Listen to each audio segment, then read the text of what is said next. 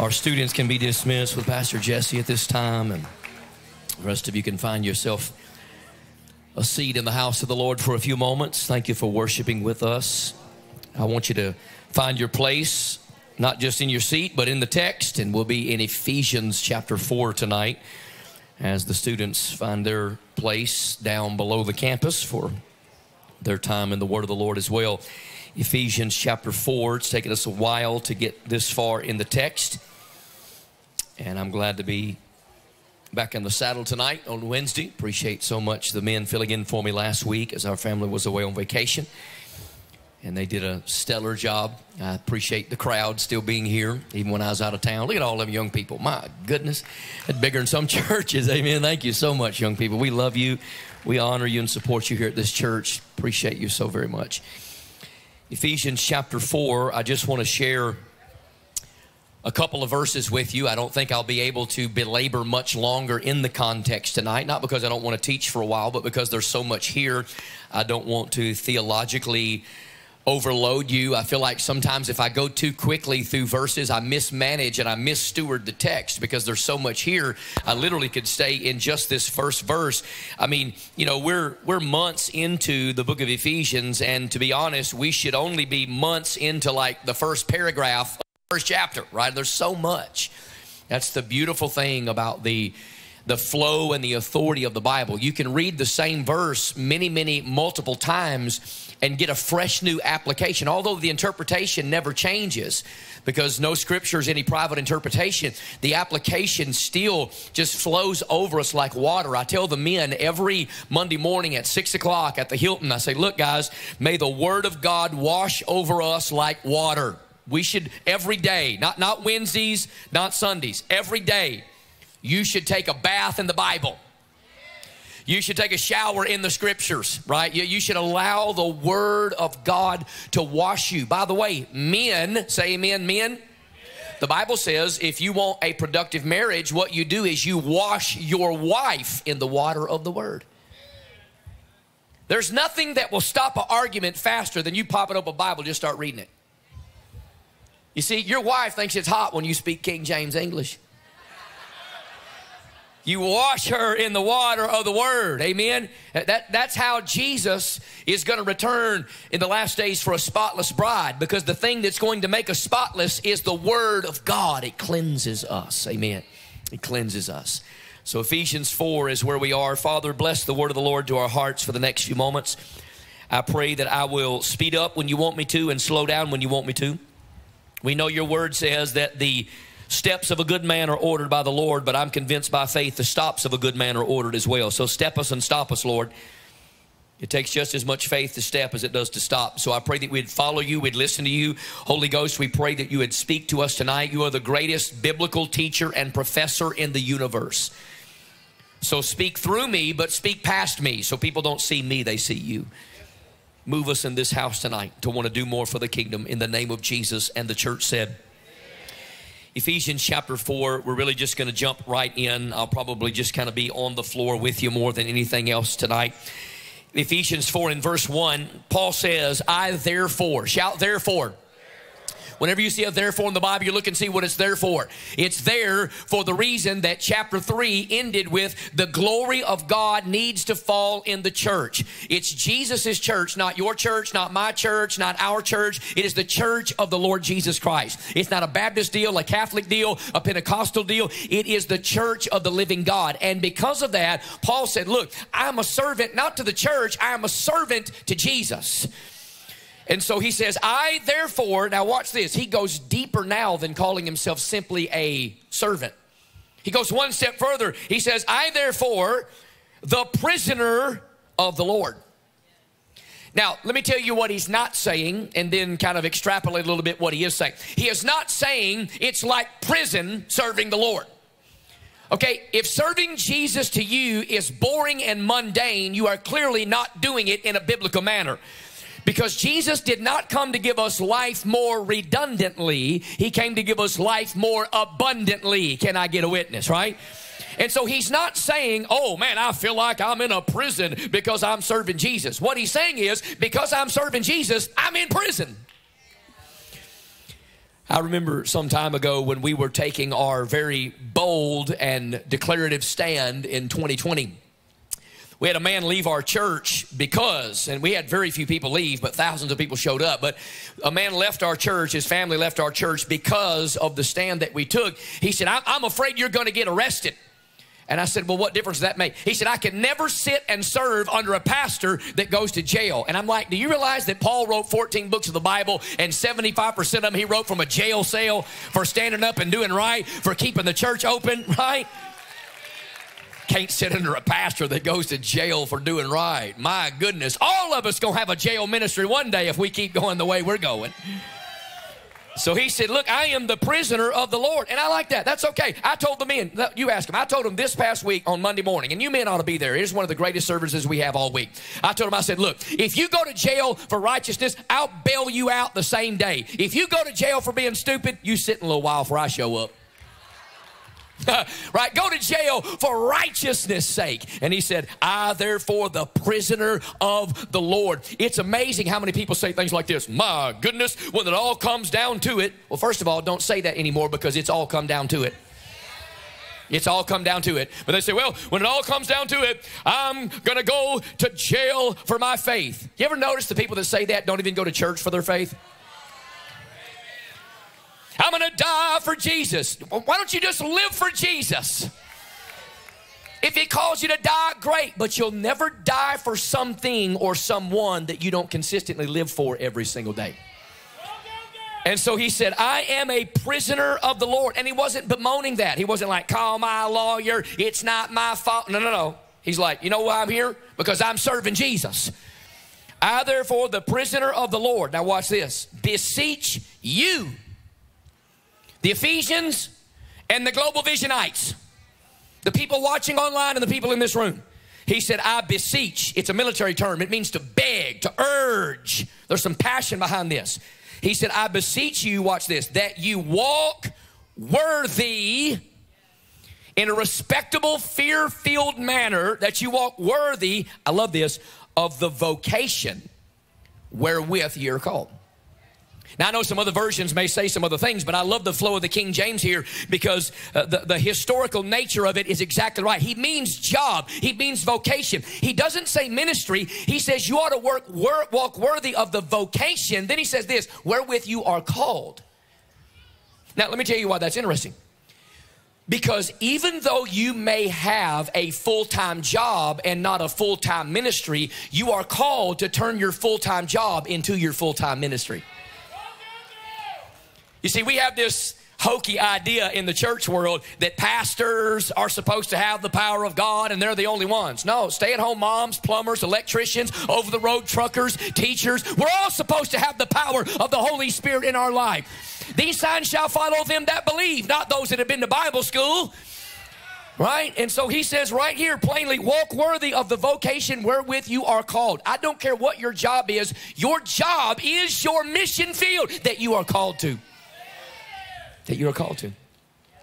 People say all the time, well, I'll tell you one thing. If I had the opportunity to be in the ministry, I'd lead so many people to Jesus. Have you ever one time talked to people on the job about Jesus? I get missionaries that come to me all the time. We would love to have your support because we're getting ready to go to the mission field. I'm like, well, what are you doing while you're preparing? We're raising support. Why don't you raise up people for the kingdom of God and let God take care of the support? You see, why, why would I put money behind somebody to go across the seas when they won't even go across the street and knock on their neighbor's door and witness to them for the gospel, right? Am I telling it? You see, you are called to the vocation that you have.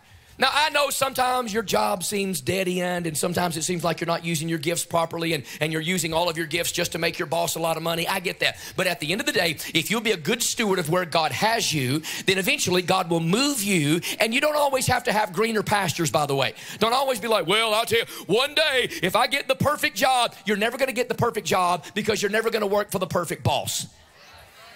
Okay, you're just not going to work for the perfect boss. We're not. We're all flawed. That's why the Bible says in Psalm 118, verse 8, it's better to put trust in the Lord than confidence in men. Because man on his best day will fail you. Because man on his best day is still man. And so he says, look, your job is a ministry. And so it's interesting that he doesn't say that you are called in the ministry. He says you are called in your vocation, and the calling is to make your vocation a ministry. If that makes sense, amen. And by the way, he says this from prison. So he's like making license plates. And he's using it as an opportunity to be called to the ministry. He's writing. You know, a, a lot of times people need to recognize, and, and I say this with, with all sincerity and humility of heart as your friend and your shepherd. Sometimes people need to recognize that what you have right now is enough to do what God's already called you to do. You see, a lot of times pastors are like, well, you know, if we had the tent, if we had the sound system, if we had the blue check mark, if we had the Charisma House Publishing behind us, if we had all of those opportunities. No, no, no, no, no. If you will not use what you already have, then don't ever ask God to give you more because God never blesses people with more if they can't handle what they've already got. Because if you can't handle what you already have, if God gives you more, you will mismanage it even worse than you're already mismanaging the little bit that you have. Because if you can't handle a little bit, God will never give you a lot of bit. Right? He just won't because everything in life is the principle of stewardship. Stewardship is not just giving, stewardship is using properly the tools and resources that God has given you for the furtherance of the kingdom. And when you understand that your house is to be used for the ministry, your car is to be used for the ministry, your computer and cell phone technology is to be used for the ministry, your marriage, your children are to be used for the ministry. Everything we have is a stewardship. And if we will steward it well, God will give us more. God will give us more. That's why Acts chapter 2 says, And the Lord added to the church daily such as should be saved. Why did He keep adding to that church? It's not like they didn't grow from 120 to 3,120 in like one fell swoop. Why'd God keep blessing them? Because they were faithful with the money, the resources, the facilities, and the people that God gave them. So God's not looking for people to bless, He's looking for people to trust. And when he finds the people he can trust, he has found the people that he will bless. Because the blessing of God always comes after the trustworthiness of God. Does that make sense? And so he says, use your vocation. You're called to it. Now, verse 2. Now, notice how we are to live, how we're to walk, how we're to work, even in secular arenas. You know, I, I get it. Sometimes when people work, full time in the ministry, if they're not careful, they can get a skewed view. I've talked to our staff about this before. You can get a skewed view because you get used to working around Christian people that think like you think and that think like your pastor thinks, right? But here's what he says here's how all of us are to walk in the world.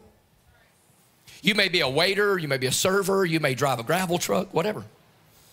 No matter what you do, here is how you walk worthy of the vocation God's called you to. Watch this. With all lowliness. Now, we have been lulled into the ridiculous notion that lowliness is impoverishment. That what we have to do is walk around like we got bad backs and beat ourselves with a whip we got to make ourselves lowly and we, we got to do all the grunt work. No, no, no, no.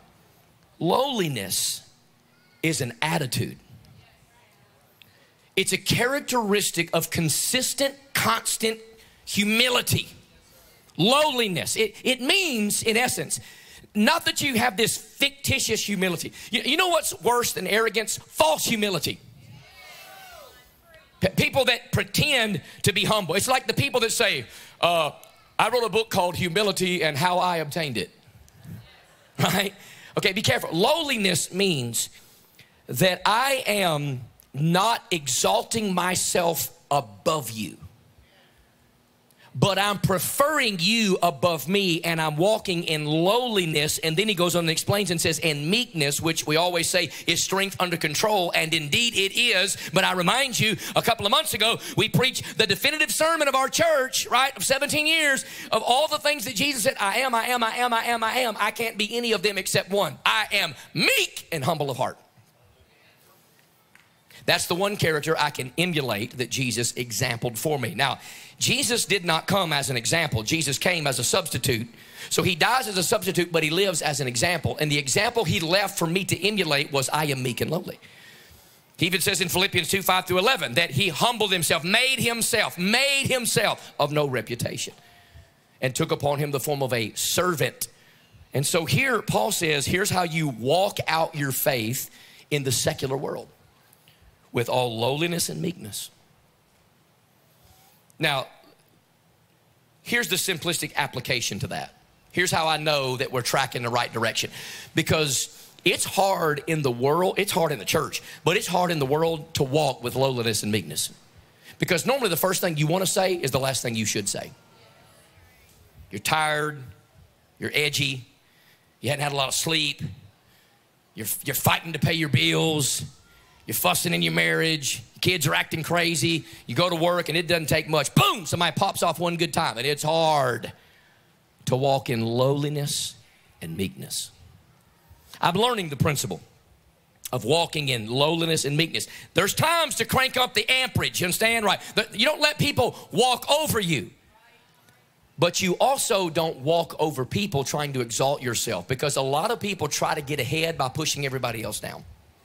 You know what I'm finding in life? The more I propel and push others to succeed spiritually, the more doors God opens for me and pushes me to succeed spiritually. Let me tell you something. I, I really, honest to goodness, and, and, and Holy Spirit convict me if, if there's any, any lie or any tinge of a lie in this. I have absolutely no ministerial jealousy in me towards people that are mightily blessed of God. And I'm not just talking about prosperity and riches and, you know, fancy $22 shirts, right? I'm not talking about all that. I'm talking about other churches that are being abundantly blessed. We, we were at Locke Media today and we had a, a, show that we were doing with a lady and she was talking about the jealousy that's in the ministry and the spirit and why won't preachers get behind people that are successful? It's because they're jealous. It's, it's, it's, it's a shame. And I'm like, man, I want other people's churches to grow. I want every church in America to baptize 10,000 people in three years. I would love for them to grow, outgrow their buildings. I would love for them to be financially and abundantly blessed. I would love for that. But most preachers, a lot of people in the ministry, the church world, we can't handle that. Like I said this past weekend, the, some of the people that won't make the sift and the shift are those that cannot rejoice in the blessings of others. I rejoice when God blesses you. I want you to have nice things in your marriage. I want you to have nice things for your kids. I, I, want you to have whatever it is the Lord wants you to have. There's nothing wrong with having stuff as long as stuff don't have you.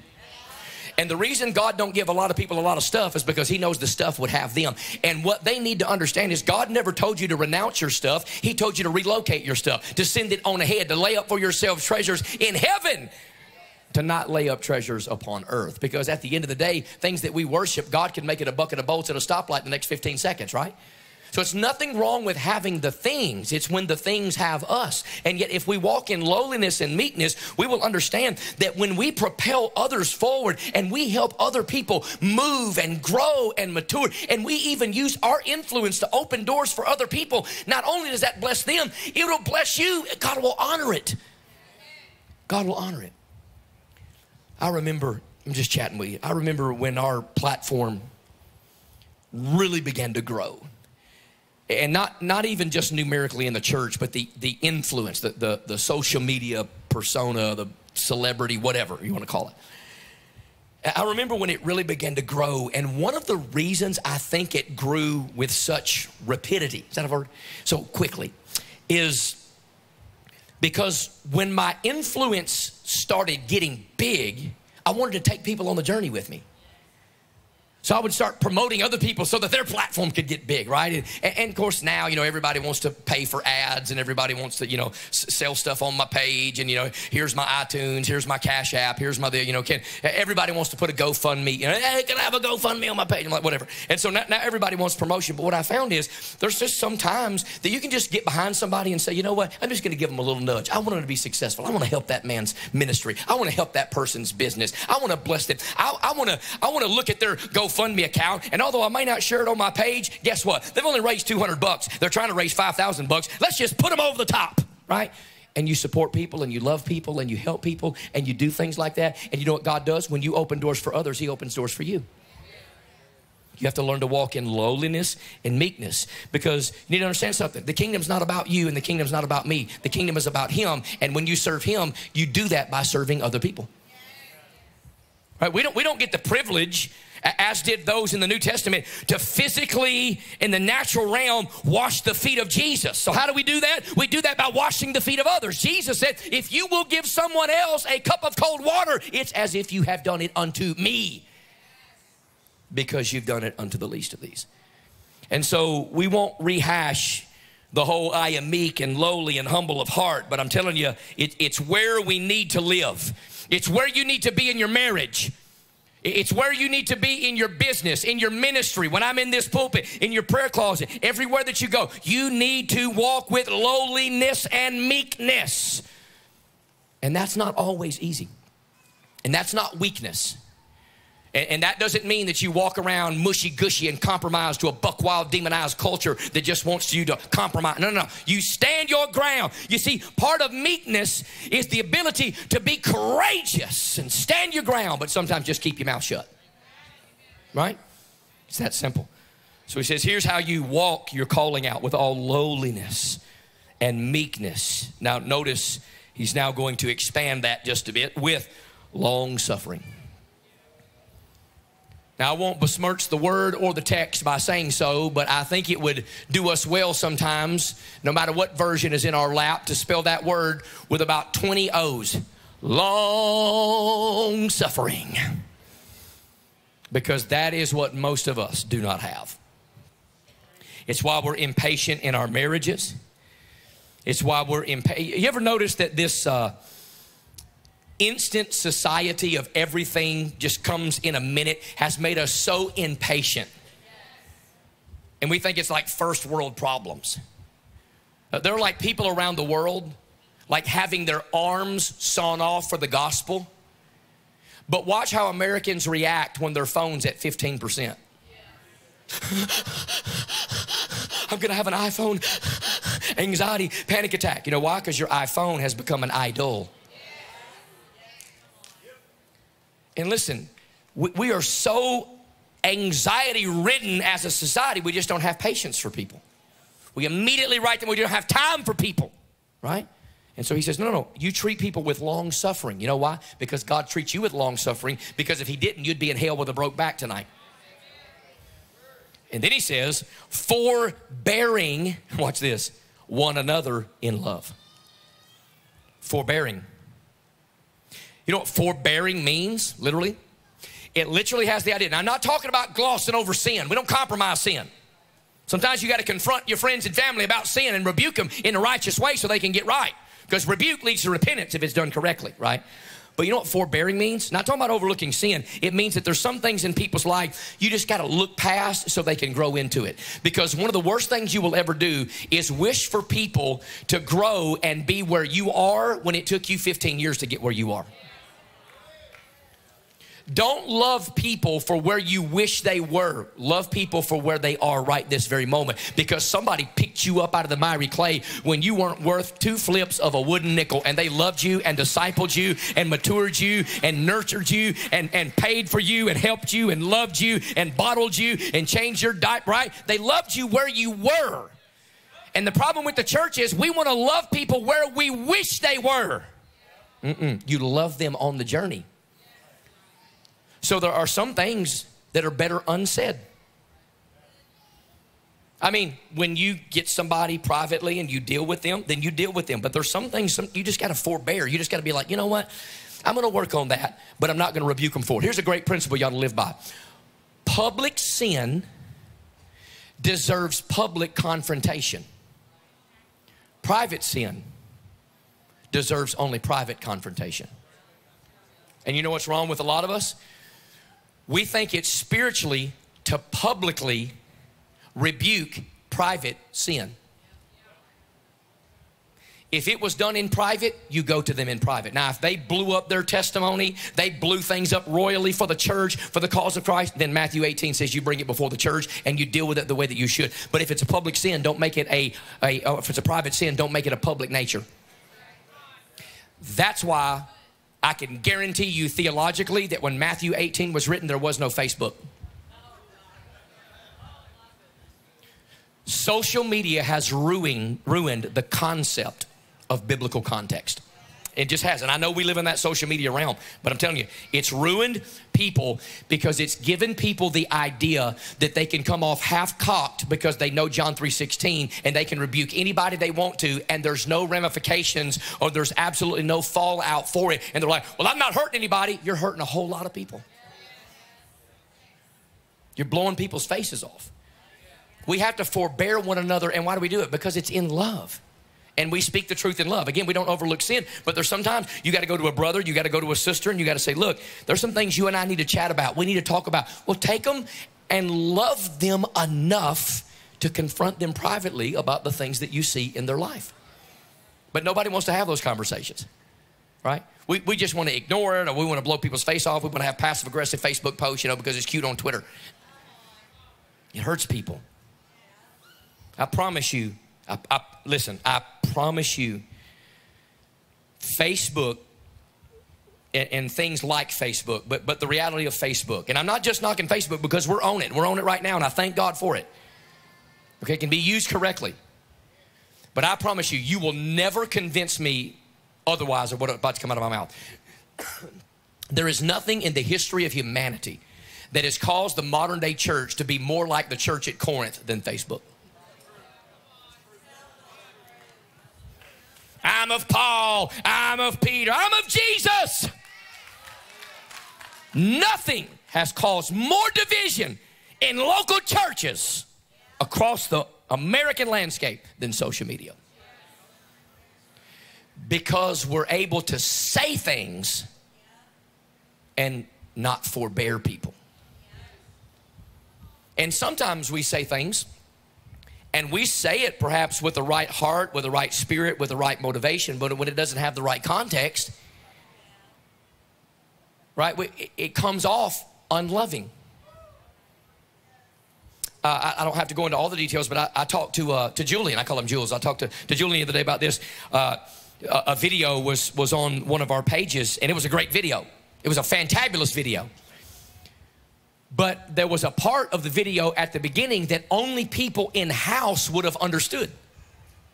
N- nobody online would have had any context to what was happening. And so in house, it was laughable.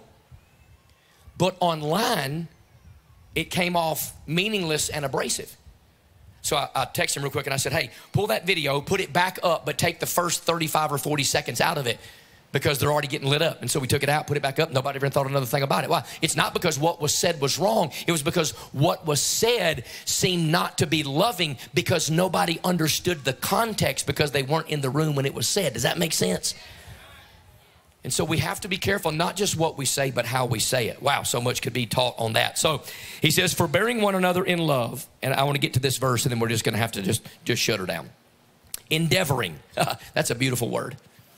That, that's a beautiful study word. Endeavoring. Doing anything and everything that you can. Having some discipline. Ma- making your mind up. Doing whatever you can do. Endeavoring. Working hard. Sweating. Praying over this. Endeavoring to do what? To watch. Keep the unity of the, notice, capital S Spirit. It's the Holy Ghost that brings about unity in the body of Christ. You know how I know that? Because humans can't do it. I mean, we can't even get along with ourselves, right? We don't even agree with the people we look at in the mirror. But when, when two people were the only two people in all of created human history, they couldn't even get along, and the majority was wrong then. It was just two people. But when the Holy Spirit is introduced and unleashed and at will to work in a congregation, you he produces? Unity. He produces unity in the body. But notice what we're to do. He does not say that, that we produce it. No, no, no. We keep it, we handle it, we steward it well once it's been produced. Keeping the unity of the Spirit in the bond of peace. Let me tell you something. I'm learning the older I get that there are some people in my life that just don't bring me peace. And that's okay. You, you don't have to feel unspiritual about that. Because when some people say, Oh, I want to be at peace with you, what they mean is, I want a piece of you. I want to break your heart into a million pieces, right? Okay, it's like communism. We want peace. Yeah, they want a piece of this, a piece of this, a piece of this, and a piece of this. And there are some people that have a communistic Christian mindset. They want a piece of everything you have, but they don't want peace with you. Because we have peace of God and peace with God, we should desire peace with each other. So he tells us that we are to keep, we're to fight for what the Spirit of God brings about in the church peace. That means sometimes it seems demonstrative, sometimes it seems a little abrasive, but that means that you have to deal with the people in your individual life, and we have to deal with the people collectively in our church life that will not allow us to keep the peace. There are some people that are inserted by the enemy to keep things stirred up. You see, the devil is just as good about sending people to churches as God is. Because I'm going to tell you something that a lot of preachers won't tell you, but it's the facts. When God takes a liking to you, so does the devil. When God gives you legitimate anointing, the devil will send people to you with a false anointing. And you have to endeavor, I have to endeavor to keep the unity of the Spirit. And that doesn't always look nice. That's why sometimes you're like, oh, who's he gonna call that? Sometimes we have to dismiss people because they're peace killers. Now, let me, let me fix an, an old wives' fable because here's what everybody likes to say. Well, you know, the Bible says in the Beatitudes, blessed are the peacekeepers. No, no, no, no. Doesn't say that. It says, Blessed are the peacemakers. You see, peacekeepers. See, we're endeavoring to keep what the Holy Spirit gives us, right? Because it's a Holy Spirit peace. But we've been taught and, and sold this ridiculous, nonsensical American idea, this bill of goods that, well, what, what we are called to be are doormats because at everything, every expense possible, we are to just, we're just to keep the peace. Now that's passivity. You're not called to be a peacekeeper, you're called to be a peacemaker. And as a peacemaker, sometimes you have to get rid of that which is keeping you from having peace to begin with. Does that make sense? It's that simple.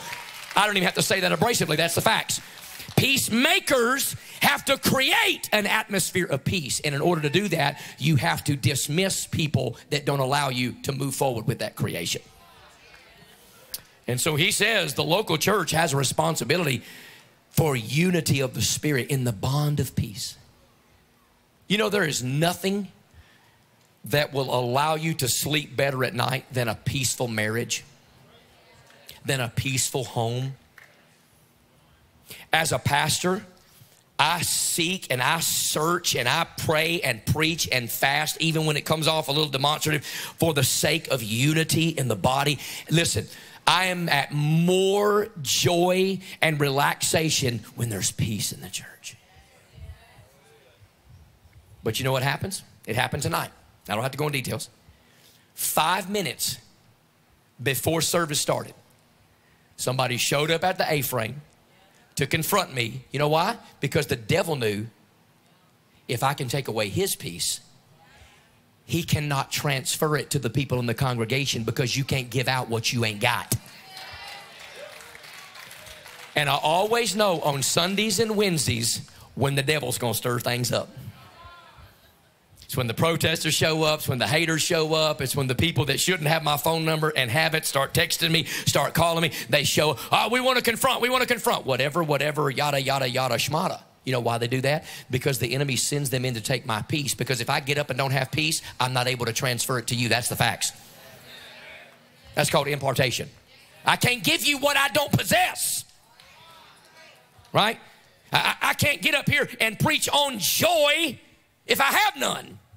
I can use the words, but the expression of my heart will not translate to you, and you'll walk out and you'll be just as depressed as you were. Listen, if I walked in here tonight like, you know, Eeyore, like we are, you know, if that's the way I preach, that's how you'd walk out. You wouldn't come back. If I got up here and I was like, well, yeah, yeah, that was some half decent worship. Do better next time. Right? That was a debacle of a of a communion time. Great job, Pastor Justin. right? If I got up that way, he'd be like, And I'm like, well, let's open the book of Ephesians. You know, Pastor Jesse, take them kids down there. You ain't gonna teach them much, but just take them down there. Bunch of little rebels. They're probably gonna sit around listening with earbuds and they're not even paying attention to you know how. I don't even know why we teach these kids, right? What are we doing? And that's how churches act sometimes. I gotta be like, well, you know, dear, dearly beloved, just open your Bibles, Ephesians 4. I ain't gonna keep you long tonight because I ain't got much to say. You know what that does? That translates to you. And you'd quit coming because there'd be no excitement in that. You'd be like, holy smokes, I should stay home and watch a soap opera if I want that much drama. right? But when we work at maintaining and stewarding the peace that God gives us, sometimes that means we have to bring the right people closer and we have to push the wrong people out. And some people don't understand that, and that's okay. I'll be the guy that goes to my grave with the black eye for pushing out the wrong people. But I always know they were the right people to push out as the wrong people by the way they respond when they get pushed out.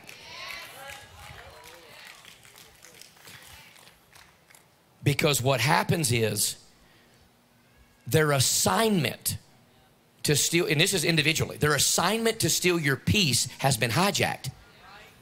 So they will do everything they can, even act more spiritual and more humble to get back into your life so they can continue to wreak havoc because their assignment was not to bring you peace, it was to keep you from it. But when they show you who they are, believe them the first time. Amen. Believe them the first time.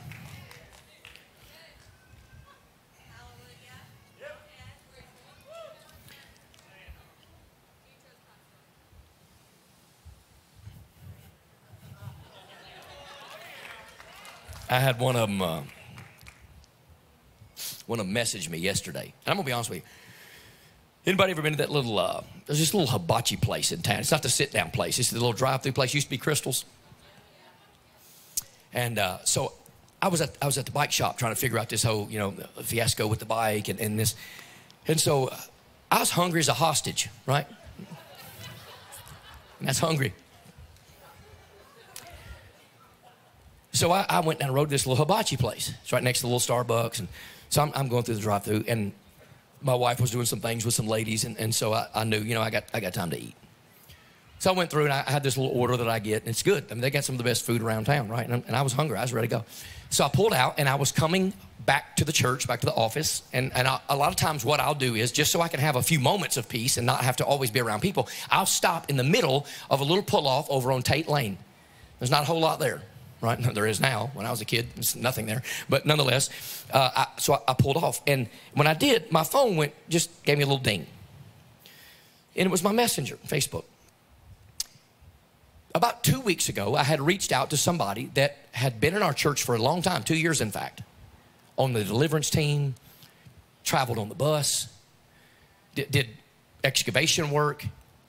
I mean, I had a lot of responsibility. And, and I reached out in sincerity. And I'm like, you know, two weeks ago, and I'm like, hey, I, man, where you been? You, everything okay? Hadn't seen you. Boy, did I get a book. I mean, a book, a bully book. I sat on Tate like I didn't even eat. I took one bite of an egg roll. It, can, you know, I always know when the devil's trying to get in my head because I can go from zero to a hundred. I can go from starving to death to fasting for days. When when, can, when people get under my, I just I, I could sit down to the best steak house in this town, and somebody in this church can text me something in a smart aleck way, and I'll, it'll ruin my appetite. I can't even eat. Can't even eat. And so I'm like reading it. I'm like, and I, I told him in, in, a little bit of righteous anger, I'm gonna read it, but I'm not. I'm not gonna read it. I I'm gonna read it. I ought to, but I won't. I was. I've had people talk to me like a dog. But it's not often I have church people that talk to me like I'm vermin. I mean, it, it, it really, it, it threw me. Now, again, if I would listen to not just Holy Spirit, but holy wife, I wouldn't run into this situation because she told me six months ago he was going to blow my face off. that he was a womanizing piece of garbage. She did say that. Of which there are women in this church that let me know after the fact he's a womanizing piece of garbage. And he's watching right now. You womanizing piece of garbage. I'm telling, I'm, I'm saying, calling us everything you can imagine and unbelievably accusing our church of some of the most atrocious things that could ever be said. I mean, atrocities. And calling, I mean, just, and it's always the same thing with this little group of people. Oh, they don't really give their missionaries that kind of money. They're absconding with all the money. I'm like, yeah. It's written out. We just had a full bank audit that we passed with flying colors. Okay? And they're like, well, they don't really give that money away. And then the other, they're like, well, they're using the adoption ministry, no, ministry to sex traffic children. I'm like, do you even hear yourself when you talk? I smoked a lot of dope before I got saved. I've never been that high or that stupid one day in my entire life. Never. I've never been that high to say such ridiculous things. I mean, that is asinine. That is crazy. That, that is beyond anything I can even imagine. And, and I mean, this guy just went, what did the kids say? Ham.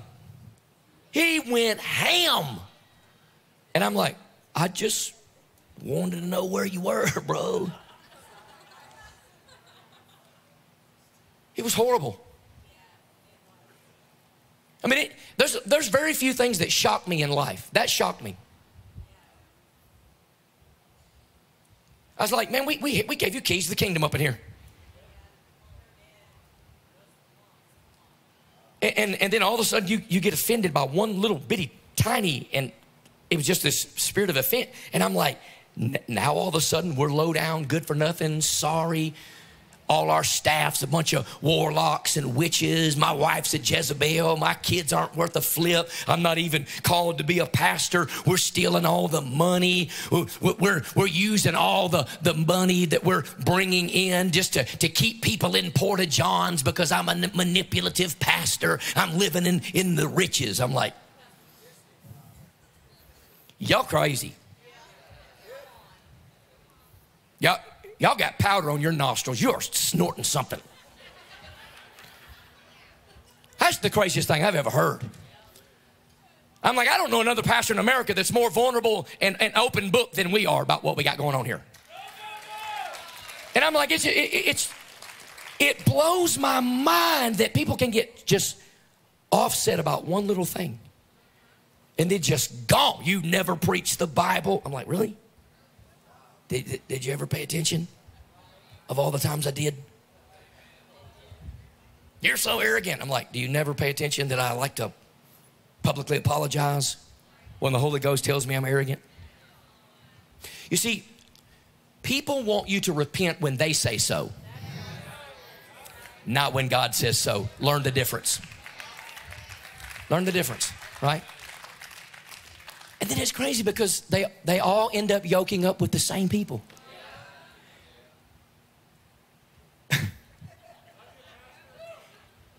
It's just the craziest thing in the world. People that I got up in the church, I, I ran other people off to stand up for the people that ended up blowing my face off, and the other people that left the church were right about those people.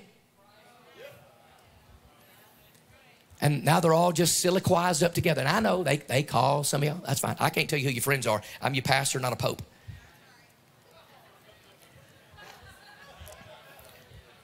But dear God, you ought to figure out when people give you peace and when people don't.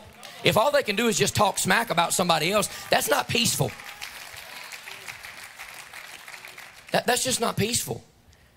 And, and it's just, it, it kept me up last. Night. Nothing ever keeps me up. I mean, we've lost all kind of people through the years. They don't keep me up. But I was just like, I was like rereading it. God said, just block him, quit worrying about it. And I was just like, this is disgusting. What this guy is saying about our church when we've done nothing. And then I'm like, oh, no, oh, oh, yeah, oh, okay. Well, that sounds like, oh, yeah, well, no wonder it sounds like so and so. You're liking all their Facebook posts. wow, I thought Greg Borchers actually left the church.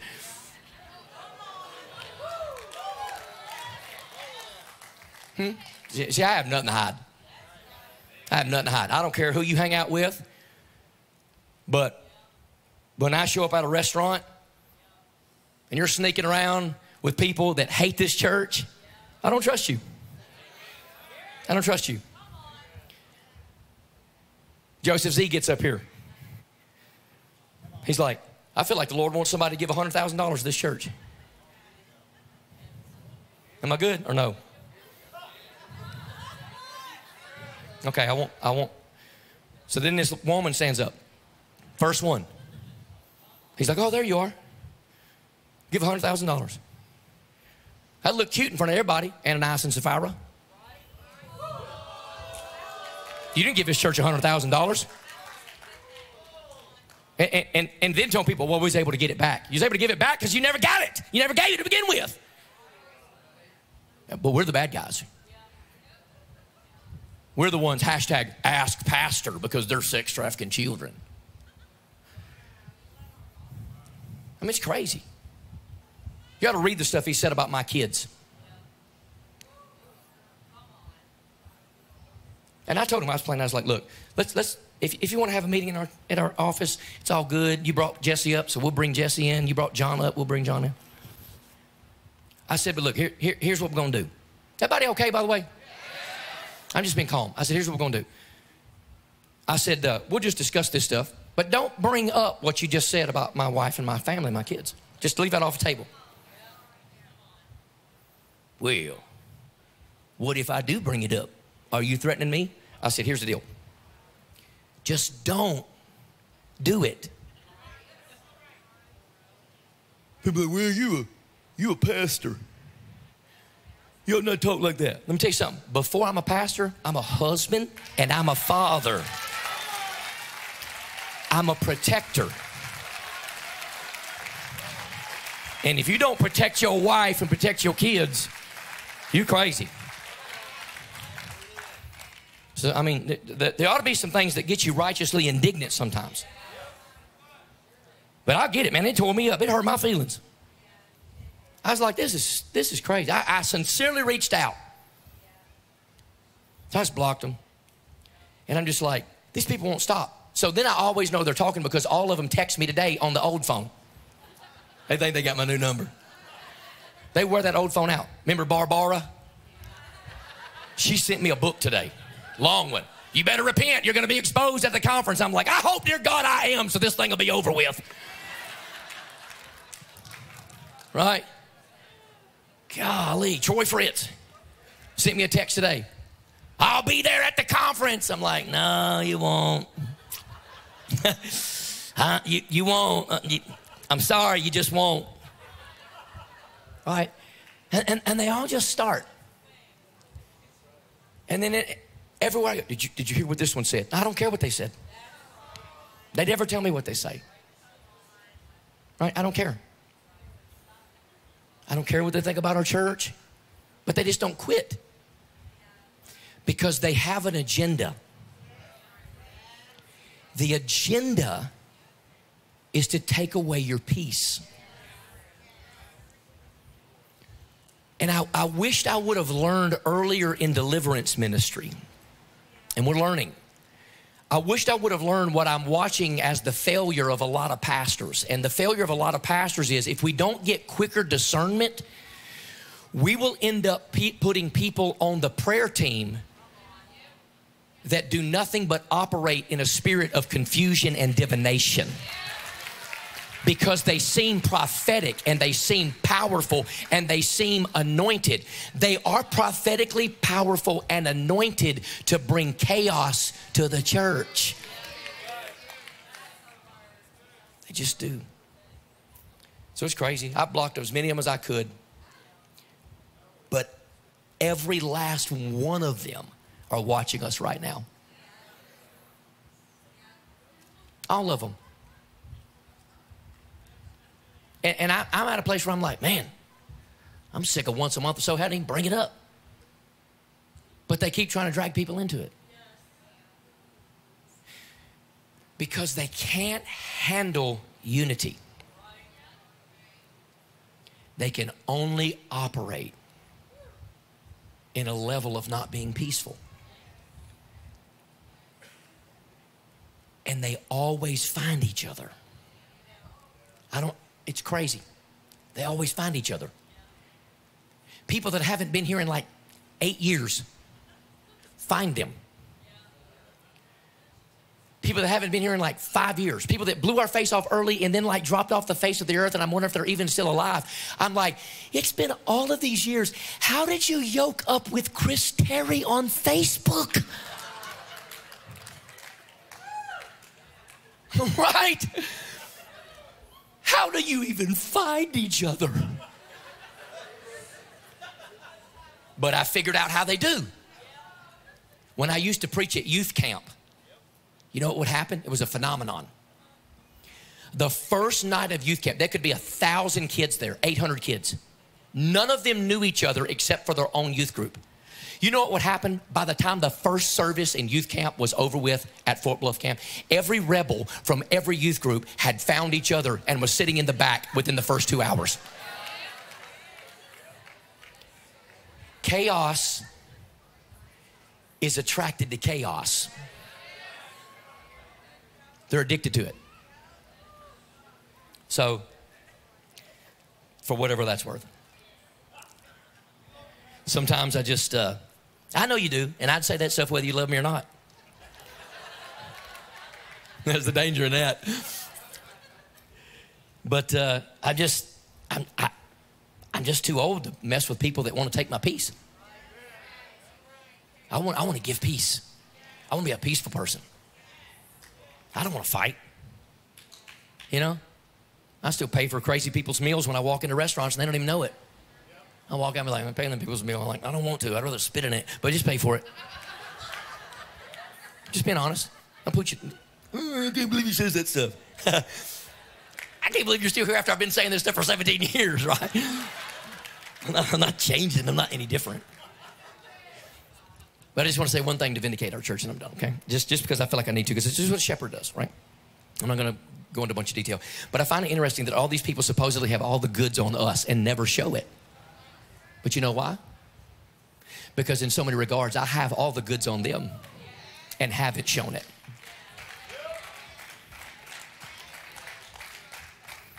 You see, we got big screens. They don't have big screens.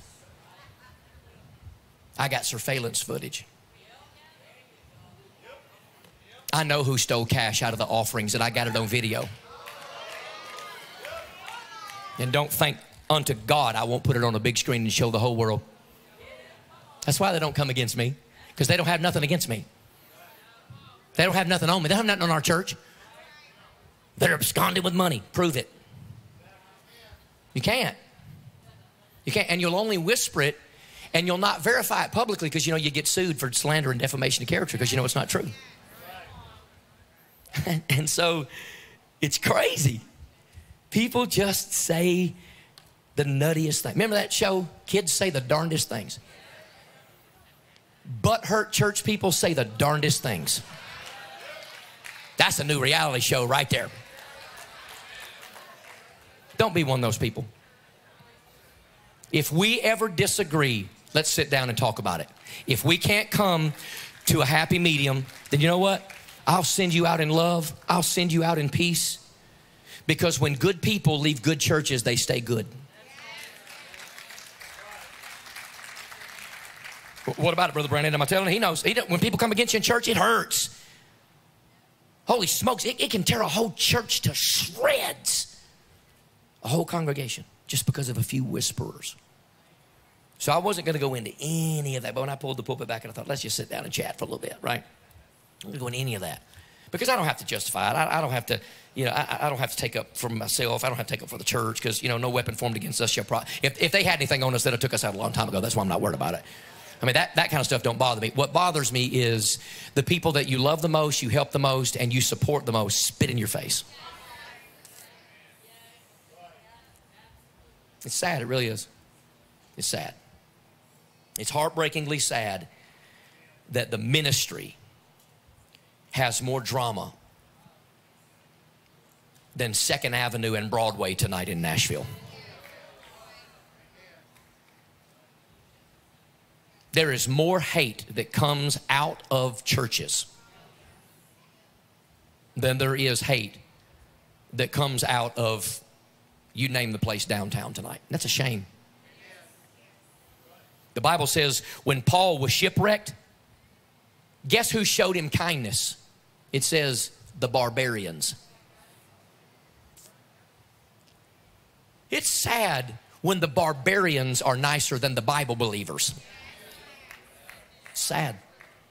So, again, I know sometimes I, say names and I, and I say stuff, and I, I, I reserve that type of speak for, for Wednesday night, and I know it's online too, and I know they're watching. But I just don't, I don't play games with the church. You want to know where the money's at? Come down there and find out. Look at the bank statement. IRS would have got us a long time ago if we had some problems. Okay? We've been the most vocal, well known, outlandish church in America for a number of years. There's not another church on the planet that CNN has had a bigger love affair with than us. And you really think if we had all that stuff going that they would not have already indicted us for the fourth time? You, you use your thinking cap, kiddos. If there was something there, it would have already been revealed. S- stop believing ridiculous people. Don't let stupid people have a place in your life. What God's doing here is supernatural. So I'll just stop by saying, I'm going to do what Jesus did. Just get down on the ground and write as though you hear them not. God gives you a justifiable right to not listen to stupid people. You can't. It'll, it'll steal your peace. Stop letting them steal your peace. And I let them steal mine sometimes. I let them steal my joy. Yesterday, I was like, ah, at least let them steal my appetite. And, and we just, we, we can't operate like that because we have a responsibility to endeavor. We have to fight for what God's given us. We have to fight for it because God's not doing this everywhere. And if we take it for granted and just let any Tom, Dick, and Harry have the microphone and everybody's a prophet and everybody's this and every, no, no, no. That's why only a certain number of people lay hands on people because we got to steward well what we have. Because if we don't, we're opening the doorway for the wrong people to come in. And we can't. And so I close with this statement a lot of times churches will i don't know maybe in the in the sincerity of their heart and I, I, hope people don't take a clip of this and use it against me but in the sincerity of their heart it's why we will never have a sign outside that says this that, that 90% of the signs in this town and all over wilson county you know what it says everyone welcome not here troublemakers aren't welcome here Liars aren't welcome here. People that want to rob your peace and rob my peace are not welcome here. And if the atmosphere is right and supercharged by the power and the anointing of the Holy Spirit, they'll reveal themselves soon enough. You believe that tonight? Thank you for letting me be uh, just be real with you. Stand to your feet all over the room. Father, thank you for the word of God. And thank you sometimes that we just can be real with each other. We got to put on these makeup games. Jimmy Carter smile. We can just say, hey, look, wow, this is crazy. And it would shock some people in this room to the core if I did name that man. And no need in doing it. Lord, I pray with all my soul that you will keep drama off this campus, not just out of this tent, out of the parking lot before it even gets in this tent. We pray all the time. Bring the right people here. You are bringing people from around the world to this house. We thank God for it. Bring them all. But put up so many divine roadblocks to the people that are coming here for the wrong reason that they never make it to our parking lot. We don't want them. We don't want them. We don't want them. Lord, even you put up a wall around your kingdom. Even heaven's got a gate to keep the wrong people out and the right people in. So, God, send your angels to be the gatekeepers of your glory in this house. And they can give us a black eye and they can besmirch us and they can talk about me on Facebook all they jolly well want to and they can try to draw as many hearts from people that are well meaning but have no discernment. They can try to pull them all away. They can do it. They can try to sow all the discord, but at the end of the day, I know what's going to happen this weekend. People are going to be saved, converts are going to be baptized, demons are going to be cast out, cancer is going to be healed, people are going to get out of wheelchairs, homes are going to be put back together. You are going to bless. We're going to give 80% of everything we have to missions. We're going to remain debt free. We're going to stay in a hot tent, and 10,000 people are going to show up from all over the world to come to this deliverance conference to be set free by the glory of God. We thank you that in the midst of craziness, the Holy Ghost brings brings us peace. In the name of Jesus. And the church shouted out. I love you. Get around, hug each other. We're family. Amen.